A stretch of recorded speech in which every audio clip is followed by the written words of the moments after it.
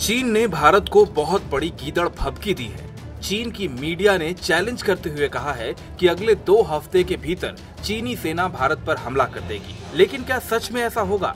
क्या वाकई चीन की सेना भारत से टकराने वाली है? आइए आपको बताते हैं कि इस दावे और दावे के पीछे की हकीकत क्या है। दरअसल भारत की तरह ही चीन की लोकल मीडिया में भी अब भारत और चीन की तनातनी को लेकर काफ़ी बातें शुरू हो गई हैं। चीनी मीडिया के एक्सपर्ट्स भी अपनी राय रख रहे हैं और चीनी मीडिया के इन एक्सपर्ट का कहना है कि चीन भारतीय सेना की तैनाती को अब बर्दाश्त करने वाला नहीं है। अगले दो हफ़्ते के अंदर वो छोटे स्तर का सैन्य ऑपरेशन शुरू कर सकता है। इसके पीछे वजह क्या है ये समझिए। दरअसल चीन में शुक्रवार को छह मंत्रालयों और सेना से जुड़े संस्थानों की हाई लेवल मीटिंग हुई। इस मीटिंग में डोकलाम में भारतीय सेना की तैनाती को लेकर चीन क्या एक्शन ले सकता है, इस पर विचार विमर्श हुआ।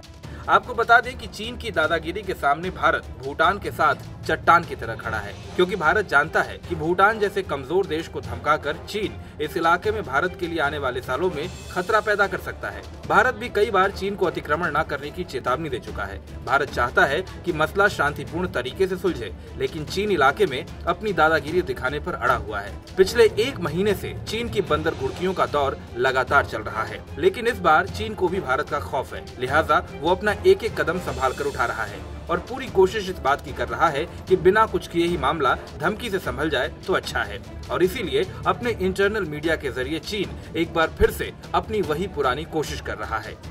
इंडिया न्यूज़ वायरल की रिपोर्ट।